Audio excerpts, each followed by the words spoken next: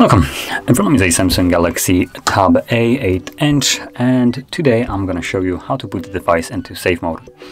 Now to get started you want to hold the power key and once it brings up the boot options hold power off.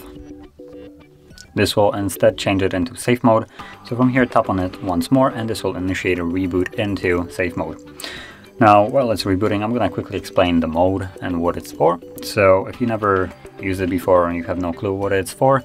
Uh, if you have some kind of problem with your device, for instance, your battery is discharging too quickly, or maybe some trash pop-ups are coming up on your screen like ads and stuff like that, um, or any, any kind of like weird stuff that shouldn't be happening, you can put your device into safe mode, and this will disable all, uh, all third-party applications, keep only the default apps that come with Android enabled, so you can only use those.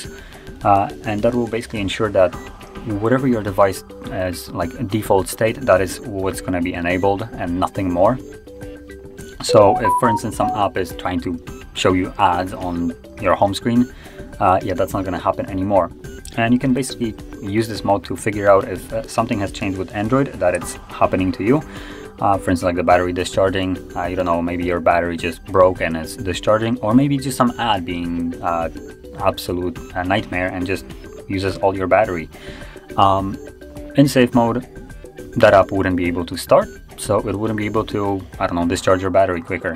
Uh, but if it's default of, for instance, the battery itself, then uh, it will continue and you would have a bit of a clear uh, answer to your problem here. So as you can see, uh, widgets are disabled and only default apps are here. So that is how you would boot into it. Now, once you're ready to leave it, all you need to do is hold power key and this time around simply select restart and when the device boots back up it will be back in a normal mode. And as you can see now we're back in normal mode. So if you found this video helpful don't forget to hit like, subscribe and thanks for watching.